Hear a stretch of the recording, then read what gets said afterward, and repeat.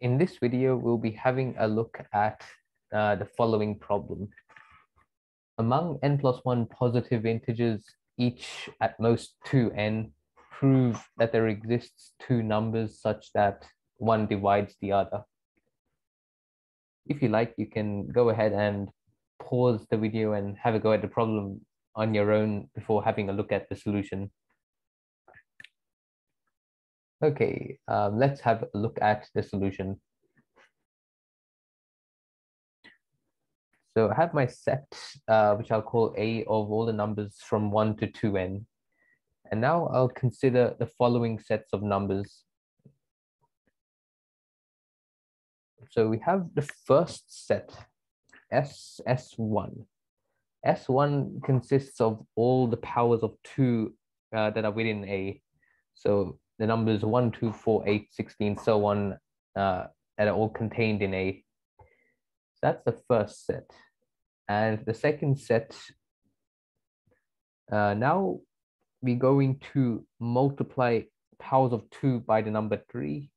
So we're doing 3 times 1, 3 times 2, 3 times 4, 3 times 8, and so on. Uh, and make sure these all, all the numbers are within A, so they don't exceed 2n. So this is the second set. Uh, next set is powers of 2, 1, 2, 4, 8 now, but now times by 5. So doing 5 times 1 and 5 times 2 and so on, and making sure all these numbers are in A. And similarly, we'll now move on to the next odd number. So we start 1, 3, 5, 7, and doing 7 times 1, 7 times 2, and so on, and making sure all these numbers are in A. And keep on doing this where we multiply odd numbers a fixed odd number by all the powers of two.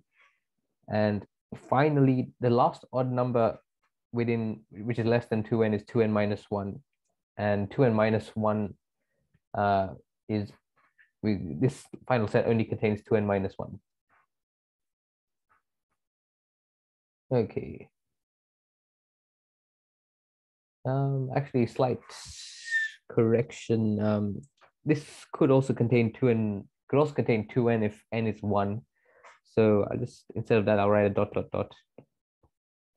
So, so because it could also contain 2n when n is 1. But the main idea is doing odd numbers multiplied by powers of 2. And now since all, so now the observation is we can write all positive integers as a power of two times an odd number. So if you take the highest power of two dividing the number x, um, that's going to be the highest power of two, that's a factor, and you're forced to multiply it by an odd number to get x. And there's only one unique way of finding the k and the t to make it work.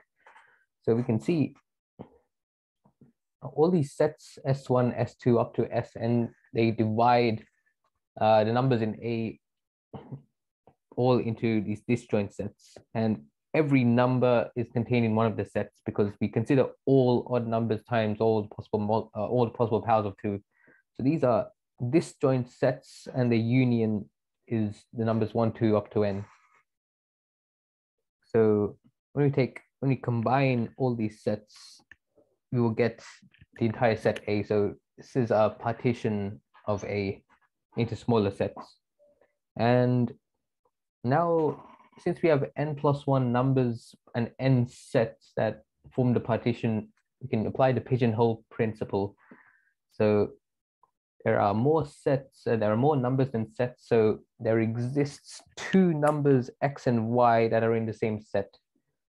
And since they're in the same set, it means that you have some odd number times some power of two. So for example, you could have one x could be five times two and y could be five times eight. So you have two numbers in the same set.